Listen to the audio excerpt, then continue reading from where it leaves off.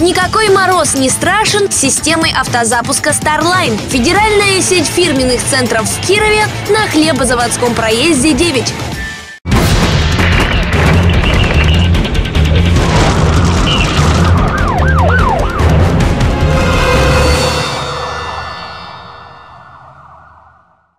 Здравствуйте, в эфире первого городского проекта «Место происшествия». Студия Алина Котрихова и сегодня в программе. От дерева отскочил в кювет. Два человека погибли и еще один получили травмы в результате ДТП в Оличевском районе. Разгромила пять автомобилей на парковке.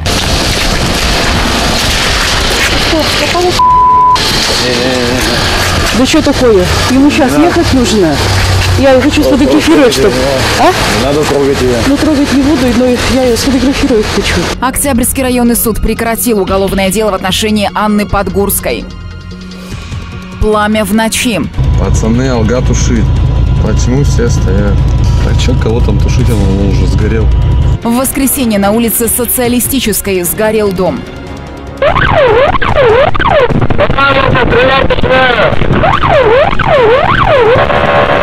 Отпросился погулять на пять минут. Почему я не сплю? Я с трех часов ночи сегодня работаю.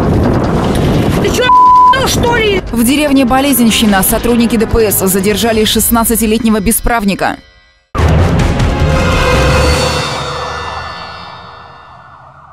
Два человека погибли и еще один получили травмы в результате ДТП в Уличевском районе. Там водитель «Тойоты» вырезался в дерево и съехал в кювет. Подробности этого и других дорожных происшествий в рубрике «Обзор аварий» слово моему коллеге Сергею Пичугину. Авария произошла вечером 9 ноября в поселке Стрижи Уричевского района. По предварительным данным ГИБДД, 42-летний водитель Toyota Corolla не справился с управлением. Машина сначала наехала на дерево, затем в кювете опрокинулась. В итоге водитель и пассажир авто погибли, еще один пассажир получил тяжелые травмы. Его госпитализировали. По факту ДТП проводится проверка. В Слободском районе в результате ДТП погиб еще один человек. По предварительным данным полиции, 24-летний водитель «Жигулей» четвертой модели на трассе сбил пешехода. Мужчина получил травмы, несовместимые с жизнью. Как выяснилось, рулевой классики не имеет прав и был в нетрезвом виде. В Слободском районе на девятом километре дороги Киров-Бобина не справился с управлением 36-летний водитель «девятки». Машина выехала за пределы дороги и врезалась в забор. Вероятно, виновник ДТП получил серьезные травмы, его госпитализировали. В Вятских полянах устроил ДТП 78-летний пенсионер на шестерке. По предварительным данным ГАИ он не справился с управлением и врезался в трактор. Пожилой мужчина получил травмы, медики оказали ему помощь. В Оричах столкнулись два автомобиля. По предварительным данным ГИБДД, 24-летний водитель Форда Фокус поворачивал налево на прилегающую территорию и не пропустил встречную 14-ю. В этой аварии пострадала пассажирка «Лады». В Кирове на улице Романа Ердикова аварию спровоцировала женщина-водитель «Лады» 14 модели. По предварительным данным госавтоинспекции, 40-летняя служащая залетела под КАМАЗ, стоящий у края дороги. Травмы получила водитель, а также два ее пассажира. Это девочки 5 и 8 лет. Детей госпитализировали. На улице Московской столкнулись пазики и «Лада Калина». По предварительным данным полиции, 50-летний водитель общественного транспорта повернул налево и не пропустил встречный легковой автомобиль. От удара водитель и пассажирка Калины травмировались, медики оказали им помощь. Сергей Пичугин, место происшествия.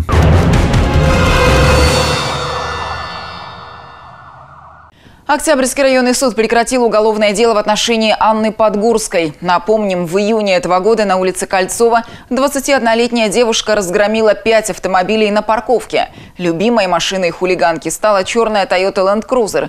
Около часа девушка пыталась ее взломать. Камера видеонаблюдения зафиксировала все ее действия.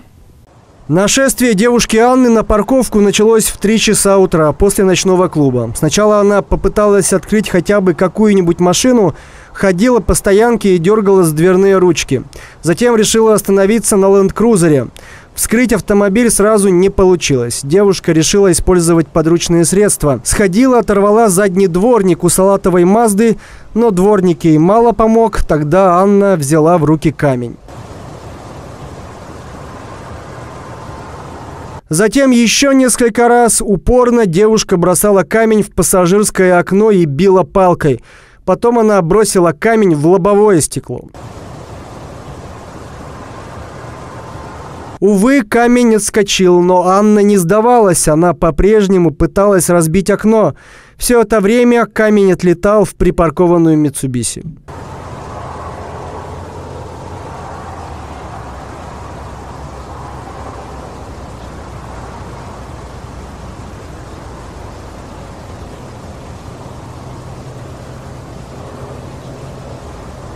Спустя 20 минут после почти 50 ударов стекло на ленд-крузере треснуло, и у девушки появилась надежда, что она сможет покататься на внедорожнике.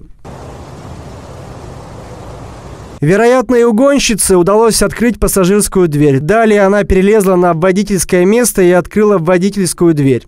У «Тойоты» уже сработала сигнализация, но нарушительницу это не останавливало.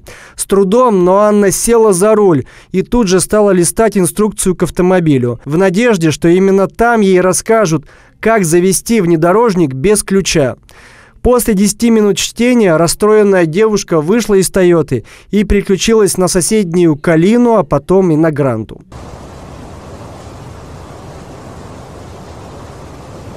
После взлома в гранте девушка также сидела и читала инструкцию. Как в этот момент на парковку в трусах выбежал владелец гранты. Мужчина не понял, что происходит. Пока он соображал, Анна потихоньку ретировалась, а потом и вовсе побежала.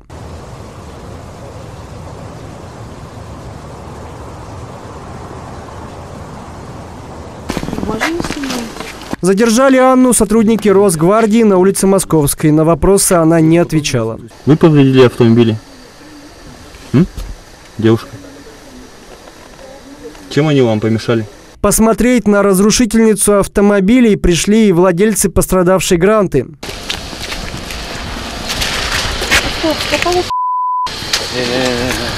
Да что такое? Ему сейчас ехать нужно. Я ее хочу сфотографировать, чтобы... А? Не надо трогать ее. Ну, трогать не буду, но я ее сфотографировать хочу. Скотина такая. Дармоедка. Татьяна Александровна, жена водителя Гранты, в ту ночь не спала, смотрела телевизор. Она первая услышала сигнализацию и вызвала полицию. Я просто телевизор смотрела, там просто до усадьбы идет. Uh-huh. Я слышу, пикает, пикает. Что-то думаю, что такое? А потому что пришел кто-то, говорит, в машине у нас сидит, у нас с балкона, это же все видно. Он то подошел и говорит, девушка, вы что здесь делаете? И даже, да, не слыша, она выскочила и побежала. Так-то что, не смотрели, не пропало что-нибудь? Вот я посмотрел, нет, ничего не пропало. Ну, ничего не пропало. Видите, Она пошла пустая, пошла как бы, ничего не Она взято. пустая, не брала, не сфотографирована. Из машин задержанная Анна Подгурская ничего не похитила. Впрочем, серьезные повреждения получил Land Cruiser, Mitsubishi Lancer и Lada Granta. В итоге было возбуждено уголовное дело по статье «Умышленное повреждение чужого имущества». Девушке грозили принудительные работы или до пяти лет лишения свободы. Общий ущерб составил более 250 тысяч рублей. Впрочем, в суде Подгурской удалось примириться с потерпевшими. Она возместила каждому причиненный ущерб, признала вину и извинилась. Уголовное дело по заявлению потерпевших прекратили, постановление вступило в законную силу. Михаил Вагин, Павел Москвин. Место происшествия.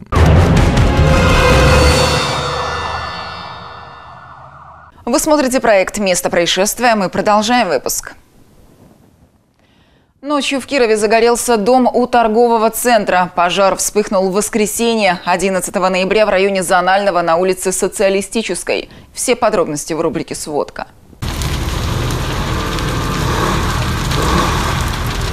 Ночью 11 ноября в микрорайоне Зональный на улице Социалистической загорелся нежилой дом. На место прибыли 8 пожарных расчетов. Пацаны, алга тушит. Почему все стоят? А чё, кого там тушить, он, он уже сгорел. В результате пожара дом сгорел полностью. Местные жители предполагают, что возгорание произошло не случайно. В пятницу 9 ноября в этом месте снесли два последних гаража. Первые гаражные боксы начали сносить прошлым летом. Очевидцы считают, что территорию освобождают под новую застройку.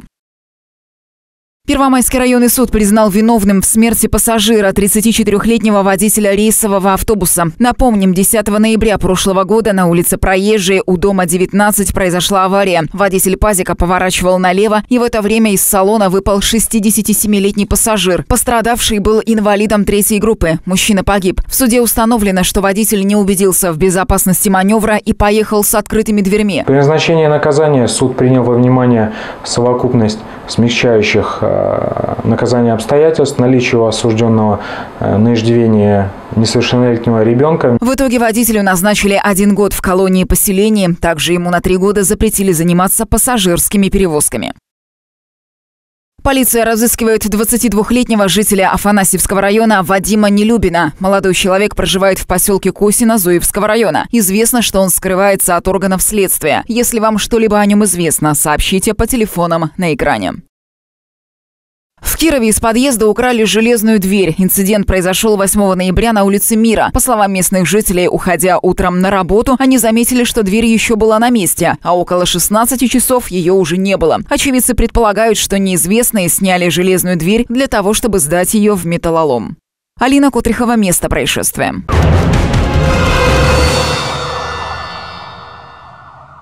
Отпросился у мамы пять минут погулять возле дома, а сам устроил погоню с полицейскими 16-летний подросток в деревне Захарищева. Юный лихач с друзьями позаимствовал у девушки аккумулятор, завел и поехал кататься на ржавой восьмерке. Чем все закончилось и какова была реакция мамы на недетские шалости ее сына в сюжете Сергея Пичугина. Сотрудники ДПС решили проверить обстановку в деревне Захарищева и заметили ржавую восьмерку с троицей юных автолюбителей на борту. Ну-ка, давай, давай, давай, направо, направо, направо. Маяки включай. Криминалка?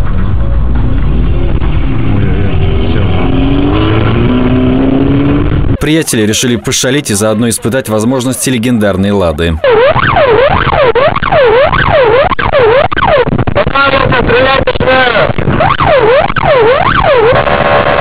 Водитель вроде бы ехал ровно, не превышал скоростной режим и не выезжал на встречку, но по-прежнему на уговоры инспекторов он не реагировал. Последний раз предупреждаю, буду стрелять! Разобьешься, останавливайся, тебе сказал, ты не Вскоре неуемный гонщик свернул с Победиловского тракта в сторону Башарова, туда, где хуже дорога. Затем машина выехала на Старомосковский тракт. Ну а далее у «восьмерки» сложила заднее правое колесо, и машина застряла в грязи деревни Болезенщина. Все трое приятелей попытались убежать, но водителя Никиту догнали. По словам подростка, он отпросился у мамы погулять всего на пять минут. Меня позвали. Мне сказали, дай аккумулятора, поедем кататься. Я дал аккумулятора. А с какой машины аккумулятор? Из дедушкиной с газели. У вас навык вождения имеется? Ездите? У меня нет. Никита, а ты к погоне-то подготовился? У тебя вот галоши как бы. В смысле погон... я подготовился? К погоне. Никита немного рассказала об особенностях его восьмерки. Она вряд ли бы прошла техосмотр. Видно то, что гнилая. Гнилая, да? То есть днище немножко гнилое, да, тут? Там все гнилое. Чуть-чуть оно вниз так опустилось, днище, да? Немножко гнилое. Да. А что, не опасно на такой тачке-то ездить? Не знаю. Вот это вот модификация стекла на восьмерке, расскажи про нее. Вот это? Да. Тут пленка что? Смотри, вот тут только один работает дворник. Это вот э, что? Для водителя. Сломался? То есть пассажира не уважаешь, да? То есть если ему дворник не подготовил. А я ты что? Ты уж, конечно, извини за такую назойливость, но погоди, но где у тебя зеркало-то заднего вида?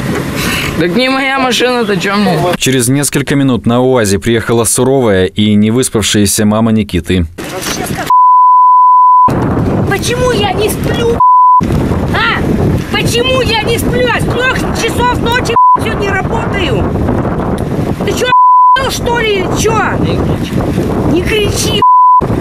Почему мне звонят? Я еду. По словам мамы, сын оплатит штраф сам, заработает дома. Ну, мы держим скотину, как бы там да. скотину накормить, потом дров домой наносить, как а? бы. Работать придется усердно, так как это второе нарушение Никиты. На очередной комиссии ему могут выписать уже вовсе не минимальный штраф. Это от 5 до 15 тысяч рублей. Сергей Пичугин, место происшествия.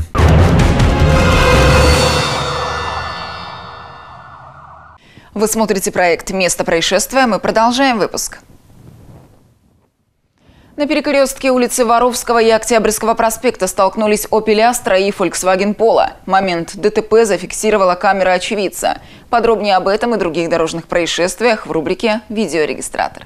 На углу улицы Воровского и Октябрьского проспекта не поделили дорогу Opel и Volkswagen. Видно, что Астра выехала на перекресток на запрещающий сигнал и врезалась в боковую часть Поло. После удара в травматологию обратилась 24-летняя пассажирка Опеля. Когда эксперты вынесут заключение о степени вреда здоровью, виновнику аварии грозит наказание. На улице Московской потерял часть автомобиля. Водитель малолитражки АК. Видно, как заднее правое колесо выкатывается навстречку, эффектно таранит машину и отскакивает. Впрочем, коварные законы физики вернули его на встречную полосу, и оно едва не зацепило еще два автомобиля. Водитель АКИ пропажу заметил не сразу и, как ни в чем не бывало, продолжал ехать вперед. На перекрестке улиц Московская и Солнечная в ДТП попали Шкода Ети и Hyundai Крета. Видно, как водитель Шкоды завершал маневр и зацепил кроссовер. Сейчас по факту этой аварии проводится проверка. В деревне Рубежница Слободского района двойное нарушение водителя иномарки попало в объектив камеры очевидца. Видно, как черный хэтчбэк пересекает сплошную линию разметки и обгоняет попутные автомобили через пешеходный переход. Сразу после этого нарушитель услышал звуки сирены и увидел сзади проблесковые маяки.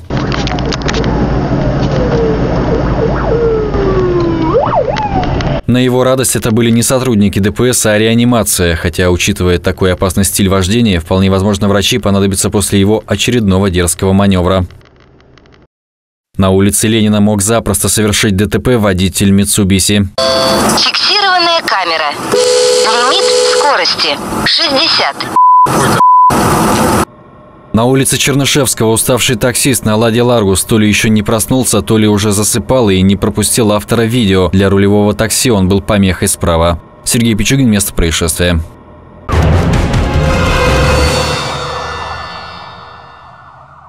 И это все на сегодня. Если вы стали свидетелем какого-либо происшествия и сняли его на свои мобильные телефоны или любительскую видеокамеру, присылайте видео на наш электронный ящик mpkировsobaka.inbox.ru или звоните и сообщите по телефону 47 3302. Также выпуски проекта «Место происшествия» вы можете посмотреть в нашей группе ВКонтакте или проследить за проектом в Инстаграме и Телеграме. А у меня на этом все. В студии была Алина Котрихова. До встречи.